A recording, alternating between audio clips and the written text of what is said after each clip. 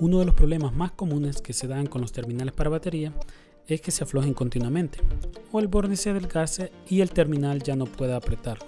Pero antes de reemplazarlo, te mostraré un pequeño truco de cómo solucionar este problema.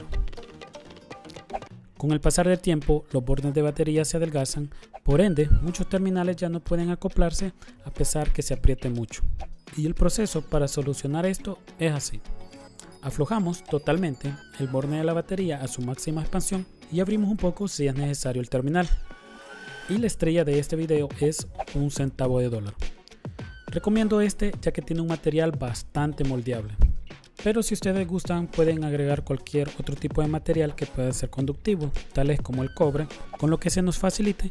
Vamos a doblar y moldear a darle forma que se acople el borde de la batería, con lo que se nos facilite más y si es necesario damos unos golpecitos en la parte de arriba si lo llegáramos a necesitar. Ya habiendo bajado el terminal del borne de la batería hasta donde se pueda, apretaremos nuevamente y listo. Esta es una solución y como siempre digo para darle unos días más de vida a algún elemento de nuestro auto. Recuerda suscribirte al canal ya que pronto estaré subiendo un curso de electricidad totalmente gratis. Y hasta aquí con este video le doy las gracias a cada uno de ustedes por el apoyo y recuerden soy su amigo Gary Lemos de Electricidad Automotriz y hasta la próxima.